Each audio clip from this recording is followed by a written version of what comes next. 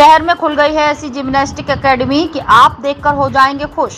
कमला नगर की RJ sports academy में आते हैं छोटे से नन्हे मुन्ने बच्चे, साथ ही स्टेट लेवल पर मचाते हैं धमाल। इस एकेडमी के कोच हैं राम प्रवेश दुबे, वो स्वयं ही नेशनल गोल्ड मेडलिस्ट कोच हैं। इस एकेडमी के खिलाड़ियों को मिल चुकी हैं सरकारी नौकरियाँ आरजे स्पोर्ट्स एकेडमी के खिलाड़ी 10 मेडल जीतकर आगरा में बैठे हैं शिखर पर।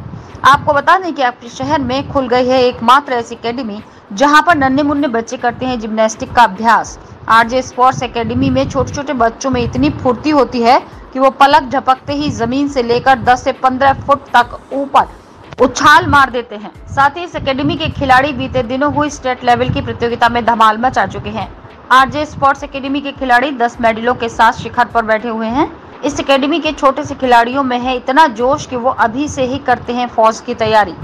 नमस्कार दोस्तों, आज हम हैं कमला नगर में कमला नगर में खुली एक शहर की एक ऐसी अच्छी एकेडमी जिम्नास्टिक जिसका नाम है आरजे स्पोर्ट्स एकेडमी ये शहर में एक ऐसी एकेडमी खुली है, क्योंकि तो यहाँ पर छोटे छोटे नन्हे नन्हे बच्चों को प्रैक्टिस कराई जाती है और यहाँ के बच्चे इतने अच्छे हैं कि अभी से ही उनके अंदर जुनून भरा हुआ है। अभी हमारी मुलाकात एक बच्चे से हुई थी, उन्होंने बताया था कि मुझे देशभक्ति मतलब देशभक्ति गाने अच्छे लगते हैं और मुझे फौजी बनना है। तो मतलब छोटे छोटे बच्चों में, देखिए यहाँ पर कितनी अच्छी वो हो रही है। अब हम मौजूद है यहाँ पर R sports academy, gymnastic academy के कोच राम प्रवेश दुबे जी के पास। सो आइए उनसे जानते हैं कि वो किस प्रकार बच्चों को प्रैक्टिस करा रहे हैं। आपका नाम? मेरा नाम राम प्रवेश दुबे है। क्या आप बच्चों को प्रैक्टिस कराते हो? मैं यहाँ बच्चों को जिम्नास्टिक की प्रैक्टिस कराता हूँ। छोटे छोटे बच्चे हैं थ्री प्लस से बच्चे ले लेते हैं। उनके बॉडी डेवलप में आज इंजरियाँ जो हो रही हैं बच्चों का ग्रोथ नहीं हो रहा है बच्चों की हाइट ग्रोथ नहीं हो रही है पर्सनालिटी ग्रोथ नहीं हो रही है उस पर हम लोग काम कर रहे हैं। और आने वाले समय में इन बच्चों को रोगों से इम्यूनिटी सिस्टम मज़बूत होने से कितने साल के बच्चे आपके यहाँ पर प्रैक्टिस करते हैं? मेरे पास इस टाइम सर थ्री साल के बच्चे हैं थ्री प्लस भी बच्चे हैं। तो तीन साल का बच्चा प्रैक्टिस करने आता है तो उसके पेरेंट्स छोड़ने आते हैं बच्चे कैसा वो करते हैं व्यवहार करते हैं? पहले तो उनके पेरेंट्स आते हैं छोड़ने बच्चे एक दिन रोते हैं फिर उसको उन बच्चों को हम अपने तरीके से डील करते हैं कैसे ट्रेनिंग कराना है। मतलब एक दो दिन में आपके साथ डर जाते हैं बच्चे? जी जी। फिर उनका मन इतना ज़्यादा लग जाता है अकेडमी में कि जाने का ही मन नहीं करता उनका। शहर शहर में ये बहुत अच्छी अकेडमी खुली है बताया जा रहा है। कमला नगर जैसी सोसाइटी में। तो इसके बारे में क्या कहना चाहेंगे? ये वास्तव में अच्छी अकेडमी खुली है आपकी? सर मैं मैं क्यों चीज़ें बताऊँ? एक्चुअली अभी मेरे बच्चे स्टेट खेलने गए थे। तो उसमें हमारे साथ गोल्ड, दो सिल्वर एक ब्राउन्स स्टेट चैंपियनशिप में। तो उसके बाद अंडर सिक्स अंडर एट में, जो हमारी अंडर एट में बच्ची होती है ओवरऑल चैंपियनशिप गोल्ड मेडल और अंडर दूसरा, उनका जो ऑलराउंड थर्ड होता है ओवरऑल चैंपियनशिप वो भी हमारे ही अकेडमी का है। तो सात गोल्ड जब आए थे आपकी एकेडमी के तो वो आपकी एकेडमी के ही बच्चे थे? हाँ वो मेरे ही एकेडमी के बच्चे थे उससे तो पूरे आगरा से टीम गई हुई थी। लेकिन ये रिज़ल्ट मेरे एकेडमी के ही है जो बच्चों को मैं मेडल लेके आए और छोटे बच्चों ने ज़्यादा मेडल लिया है सर हमारे पास। अंडर सिक्स में एक बच्ची हमारे पास मेडल लाई है सिल्वर अंडर एट में अंडर टेन में ऐसे इस तरीके से हमारे पास सात गोल्ड आ गए। तो आपका प्रदर्शन आपके बच्चों का प्रदर्शन बहुत अच्छा रहा था वहाँ पर। जी। हमारे जो बच्चे गए थे उनको पेरेंट्स लेके गए थे उनका सपोर्ट और बहुत अच्छा रहा। मुझे भी उम्मीद नहीं था कि इतना अच्छा करेंगे।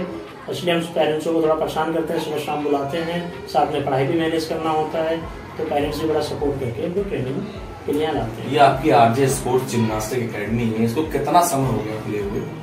हमारे अकेडमी को इस टाइम ढाई साल हो गया है। और ढाई साल में हम लोग के यहाँ भी जॉब भी लग गया बच्चों का। और हमारे बच्चे अभी नेशनल में सिलेक्शन हुआ है स्कूल नेशनल में। और स्कूल स्टेट में हमारे यहाँ महेश पाल है, उसका चार गोल्ड, एक सिल्वर मेडल आया, वो भी यूपी में स्कूल नेशनल मेरा एक छोटा सा रिक्वेस्ट आगरा शहरवासियों से और यूपी और इंडिया से है कि अपने बच्चों को आजकल जो एक्टिविटी से दूर भाग रहे हैं, टीवी, मोबाइल ये सब देख रहे हैं, कोई भी एक्टिविटी कराइए, कोई भी गेम कराइए फ़िज़िकल एक्टिविटी उनको ज़रूर कराइए, क्योंकि आने वाले समय में इम्यूनिटी सिस्टम मज़बूत रहेगा तो लोगों से बच सकते हैं। आने वाले समय में आपको पता है कि कितने अनेक रोग आ रहे हैं तो उसके लिए हमारा बच्चा तैयार हो और मज़बूत हो, इसलिए मैं चाहता हूँ कि उनके डाइट प्लान और उनके किसी न किसी एक्टिविटी कराना चाहिए। और बच्चा फिजिकली भी बहुत फिट हुआ है एक्सरसाइज वगैरह करके और बहुत सारी चीज़ें उसने नई सीखी हैं।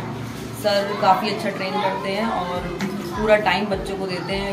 मतलब he is very devoted to his work और उनकी ट्रेनिंग में बच्चे ने, बच्चों ने बहुत कुछ अच्छा सीखा है। Even in corona time period duration भी बच्चों ने बहुत अच्छे टाइम यहाँ पे स्पेंड किया। सुबह मॉर्निंग से sir five o'clock class लगाते हैं इवनिंग में सुबह भी आप लेके आते जी, हैं सर। सुबह इतनी जल्दी अपने बच्चे को लेके आते हैं? जी सर जी सर। सर का एक स्ट्रिक्ट पैटर्न है और उसका फॉलो करते हैं और बाकायदा ग्रोथ करते हैं अच्छा खाने में अपने बच्चे को क्या क्या देते हैं डाइट में? डाइट में हम हेल्दी डाइट देते हैं स्प्राउट्स दे देते हैं दलिया दे देते हैं और रोटी पराठा तो दाल। अच्छा आगे और पेरेंट्स को क्या देना चाहिए मतलब सलाह कैसी देंगे कि अपने बच्चों को ऐसे ऐसे क्या खिलाना चाहिए?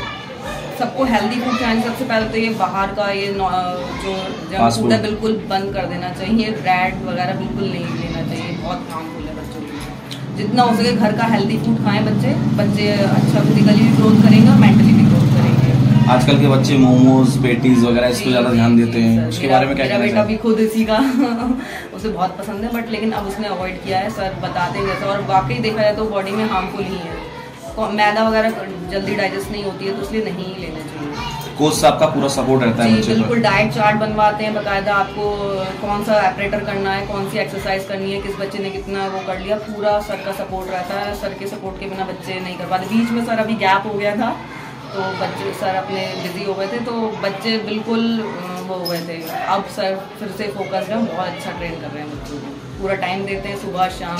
आपको कोई कंप्लेन है कुछ भी है या आपको कुछ इश्यूज़ हैं तो आप डिस्कस कर सकते हैं सर के साथ सर हमेशा उनको सॉर्ट हाँ उससे मेंटली विकास होता है फ़िज़िकल विकास होता है और जो विकास है एजुकेशन के उससे उसका इंटरेस्ट बढ़ता है ना। खेल एक ऐसी मनोरंजन या विधा है कि जिससे बच्चों का इंटरेस्ट बढ़ता है। जैसे पैसे से आप डॉक्टर हैं तो डाइट मैं प्रोफेसर हूँ। जी डाइट को लेके क्या कहना चाहेंगे? मैं डाइट में ये कहना चाहूँगा कि सिंपल जो घर का भोजन है बच्चों को वो लेना चाहिए।